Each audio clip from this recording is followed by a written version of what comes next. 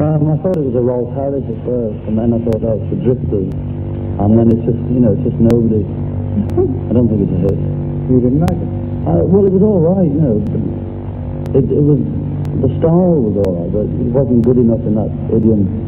Idiom.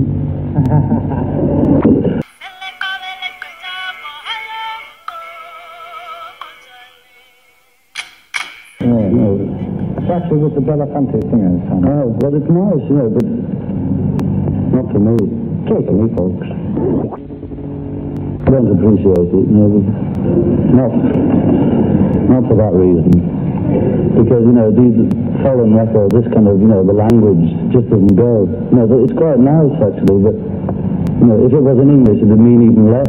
You know, it's intriguing because it's foreign, you know. But you can pick them out away, all the gimmicks, and they have a different style. I thought it was Israeli.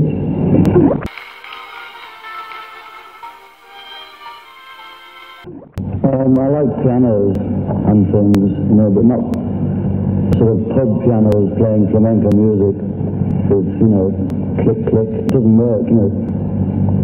He was actually playing ordinary piano, wasn't he? Wasn't he? Yeah, I know, but, you know, it still sounds, it still sounds honky, you know. It doesn't sound anything like flamenco. Yeah. And, he, you know, he hasn't pinched the best bit out of real Spanish music, I don't think. Sorry. Who was that?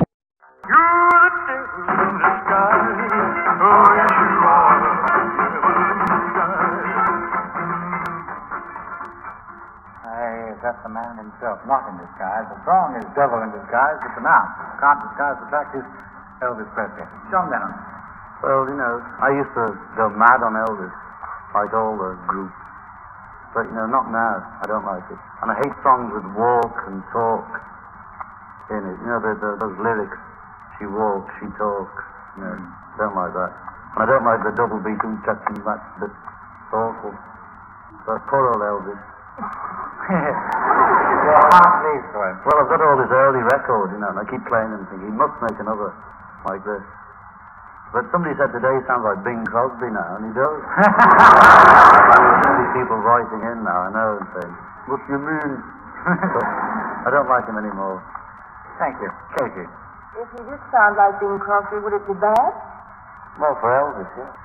Oh. On top of spaghetti. On top of spaghetti. All covered with cheese.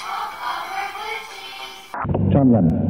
Oh, I can't. Some of these all together now records, you know. I like the idea of back one shouting and one answering, but, you know, not that. I prefer the recent Little Eva, Smoky Locomotion, folks. But not that, you know. Just like a, you know, an outing, Yeah. coach trip. Hmm? Coach trips are very popular. Yeah, they don't sell them. Let's see what Katie Boyle thinks. We had our first quarrel today. Thank you. John. Well, I like the first record. And it's because I like the octave singing, her singing, you know, one above him, and it wasn't bad. I didn't buy it. And the second one, you know, wasn't worth bothering. This, and this had Jim in, you know, like all these American records, all about Jim and Bobby and Alfred and all this. I don't like it.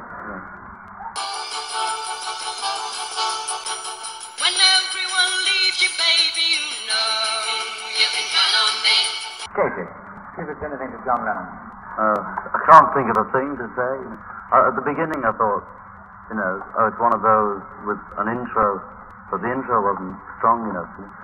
No, you know, I can't. I don't want to say anything about. Do you uh, like girls' records or not? Yeah, well, I like, I like, you know, girl singers. I like Shirelles and Chiffons. You know, they're different. But I don't. I can't think of any girl in particular. Yeah. But not that particular record. No.